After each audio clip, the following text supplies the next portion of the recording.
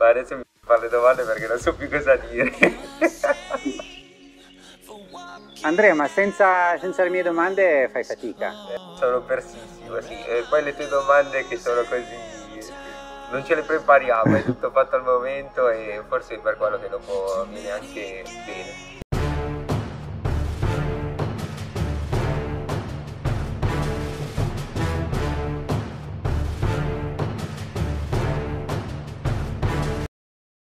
Ciao ragazzi, spero tutto bene. Oggi parleremo del workout del mercoledì come al solito e in questo caso parleremo dell'allenamento progressivo. Dal lockdown le settimane passano e sempre più persone stanno tornando in forma.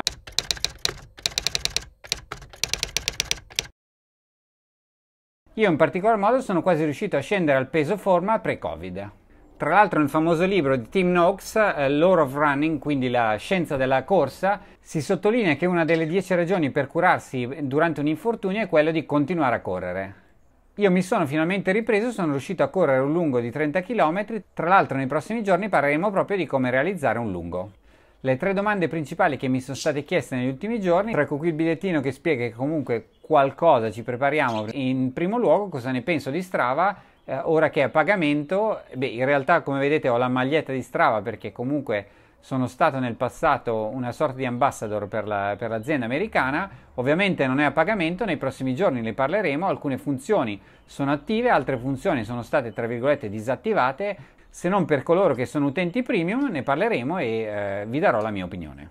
In secondo luogo mi è stato chiesto quando pubblicheremo la recensione eh, approfondita del Polar Grit X, questo qua, eh, la recensione completa di solito la realizzo un mese dopo aver testato il prodotto in maniera dettagliata, sono ancora a metà del percorso, appena possibile ve la farò avere. E infine per chi mi segue su Strava sappiate che ho testato le On uh, Cloud grazie alla partnership con uh, Running Warehouse che uh, mi ha fornito gratuitamente queste scarpe, sono molto contento, nei prossimi giorni ne parleremo, ci sarà una re- recensione dettagliata, sappiate che sono scarpe eccellenti.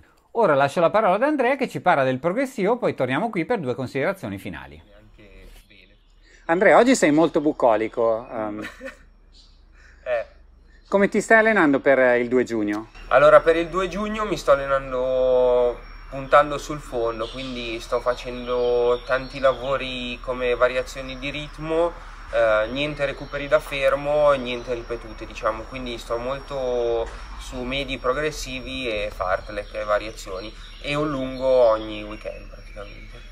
E quindi agli iscritti del canale che cosa suggerisci per questa settimana? Allora, diciamo che lavorare sulla, sulla velocità ormai non serve comunque perché la gara è a pochi giorni, quindi non riusciremo neanche ad assimilare i lavori. Eh, sicuramente almeno di darci un'idea sul ritmo che possiamo tenere quindi magari fatevi anche delle variazioni un minuto a un minuto che abbiamo già fatto la settimana prima e vedete più o meno qual è il ritmo che riuscite a tenere sul minuto forte. Partite 10 secondi più lenti diciamo in gara. Quindi come, come idea. Questa settimana che cosa, che cosa suggerisci? allora come allenamento per la settimana direi di tenerci un progressivo è un allenamento che non amo, ma in questo periodo dove non abbiamo ancora chiari i nostri ritmi potrebbe essere una, una buona via di mezzo, dove riusciamo comunque a buttare dentro un po' di chilometri e dove riusciamo comunque a, nella seconda parte del lavoro a, a tirar fuori un po' di, di ritmi gara. Eh, lo imposterei in due maniere. La prima è partire a lento, una parte dai primi 4-5 km a lento, quindi una specie di riscaldamento, 4-5 km impegnati e 2-3 km al massimo. Poi vedete sempre un po' voi dalle, dalle vostre capacità e quanti chilometri fate nelle vostre uscite di lento, eh, come modulare questo, questo progressivo. Eh, esempio, se fate 12 km di lento siete abituati, potete tenere anche un progressivo da 12-14 km quindi 4-5 di lento, 4 impegnati e il resto invece al massimo. Oppure la seconda, la seconda idea che vi posso dare di, di progressivo è fare 2 km di riscaldamento e poi fare un mini pro- eh, progressivo da 10 km circa, dove fate i primi 4 eh, a un lento svelto, 3 km al medio e gli ultimi gli ultimi chilometri rimanenti al massimo, diciamo. Per, per, la gara del 2 giugno, um, ovviamente dobbiamo anche valutare i ritmi e stabilire cosa, cosa eh, fare. Esatto, siccome la gara è da 10 km abbiamo il problema della tenuta. Fare un test sui 3 km, sui 5 km è diverso che uno da 10. Perché? Perché rischiamo di arrivare a metà gara che abbiamo finito le energie. Eh, l'idea che vi posso da- cioè che vi dà questo progressivo è comunque quando sarete alla parte del medio e la parte del veloce se riuscite a tenerlo per 10 km quindi già i ritmi riuscite a capirli in questo lavoro. Eh, è difficile dirlo perché cioè dirvi io dei ritmi perché chi ha tanti chilometri sulle gambe magari riesce anche a tenere la parte veloce quindi gli ultimi due chilometri del progressivo li riesce a tenere per tutta una gara da 10 km chi fa pochi volumi, quindi 40-50 km alla settimana, rischia di non riuscire a tenere quei, quei, ritmi, ma quelli dalla parte del medio un attimino po', un pochino più forti. E per la gara che scarpe utilizzerai?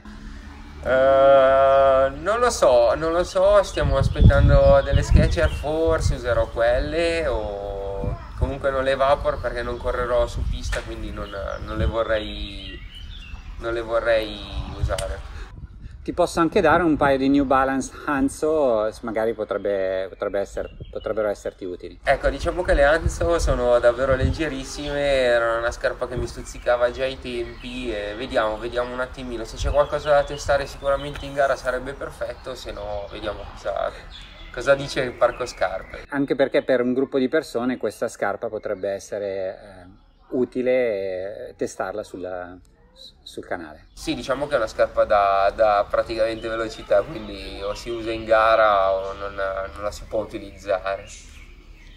Va bene, grazie Andrea, ci vediamo alla prossima. Ciao, alla prossima.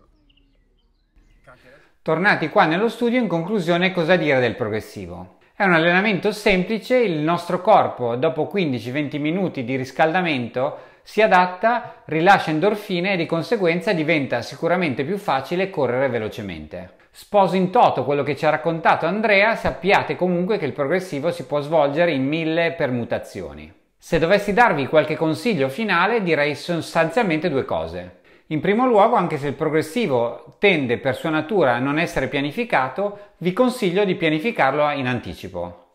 Vi consiglio di pianificare non soltanto la distanza, non soltanto il ritmo, ma anche dove andate a correre perché è altamente probabile che corriate con un'altimetria non necessariamente costante e di conseguenza dobbiate variare il vostro ritmo in funzione di dove state correndo. In secondo luogo, se spezzate il ritmo, sappiate, per esempio se correte a 6 al chilometro, che nella seconda parte dov- dovete fare una differenziazione di eh, passo molto importante rispetto alla prima. Non ha senso in effetti correre a 5,40, dovreste probabilmente finire il progressivo a 5 o addirittura a 4,45. Il progressivo in conclusione è un allenamento che si adatta a questo periodo in cui non ci sono ancora gare se non eh, quelle virtuali e di conseguenza ve lo suggeriamo, vi suggeriamo di farlo una volta a settimana. Chiaramente in autunno invece non pensiamo che sia l'allenamento migliore perché in questo caso è meglio sicuramente svolgere allenamenti di qualità e non soltanto un mezzo allenamento. E per oggi è tutto, tutto qui. Eh, mi sono dimenticato di chiedervi se volete, eh, suggerite sempre qua sotto ulteriori argomenti, non le scarpe perché quelle le faremo senz'altro, che vorreste vedere sul canale, noi siamo qui, eh, ne parleremo nelle prossime settimane e come al solito stay strong, fateci sapere i vostri feedback, lascio la parola ad Andrea che alla fine del video vi spiega come e perché gareggiare il 2 giugno per il 10.000 d'Italia. Ciao alla prossima!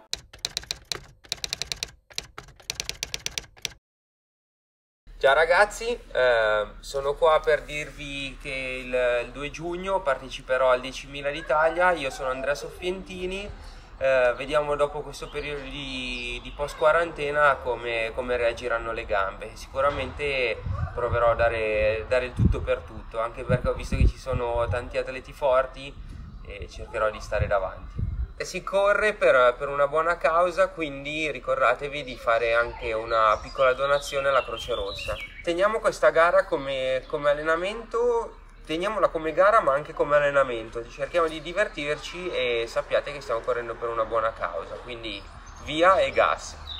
E se volete qualche tips, qualche consiglio sul, sul canale con Massimilani vi daremo qualche idea su come affrontare questa gara poi. Ciao, alla prossima!